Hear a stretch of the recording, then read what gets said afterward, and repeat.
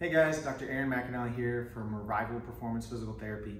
So today I'm going to be showing you guys how to do a chicken wing. So it's called a chicken wing because it kind of looks like chicken wings. So we mostly give this to people who need to loosen up this upper cervical thoracic junction, so their upper back. So a lot of times it's going to be people who kind of got stuck into this position or if they need to loosen up their pecs or their lats a little bit.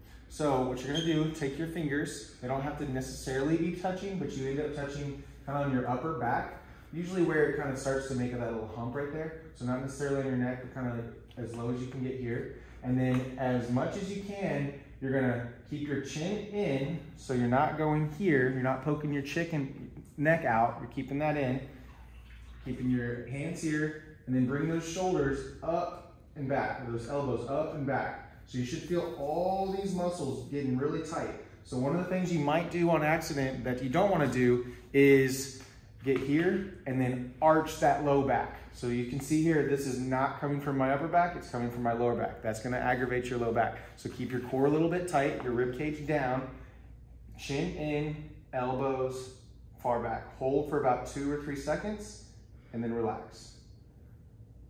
Hold for two or three seconds and then relax. Do the prescribed amount, have fun.